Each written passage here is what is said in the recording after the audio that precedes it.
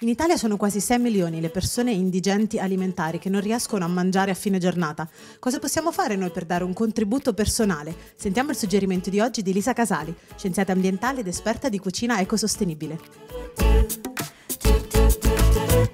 Lo spreco di cibo non avviene solo nelle nostre case, ma una buona percentuale arriva anche dalla grande distribuzione, dalla ristorazione, dalle mense e dall'industria alimentare.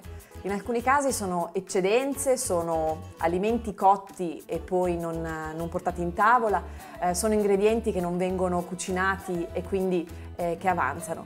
Laddove è possibile recuperare, quindi e questo cibo è ancora commestibile, poterlo ridistribuire e darlo a chi ne ha più bisogno è assolutamente un'iniziativa da, da, incoraggiare e da aiutare. Banco Alimentare nasce come fondazione nell'89 proprio con questo scopo, uno scopo di solidarietà e di beneficenza.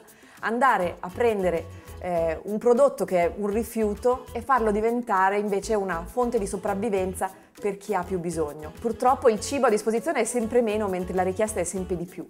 Eh, per questo motivo mh, è importante che chiunque può dia un proprio contributo. Si può fare come donatori, eh, se ad esempio lavorate in un'azienda del settore alimentare o della ristorazione, oppure potete farlo come singoli individui diventando volontari per il giorno. E poi non dimenticate anche le collette straordinarie, proprio per questo motivo sono sempre di più le persone che chiedono e sempre meno il cibo che viene donato. La colletta straordinaria serve proprio a questo scopo, colmare un po' questa differenza tra domanda e offerta e potete farlo singolarmente ognuno di voi andando a fare la spesa e destinando alcuni prodotti alla colletta straordinaria di Banco Alimentare.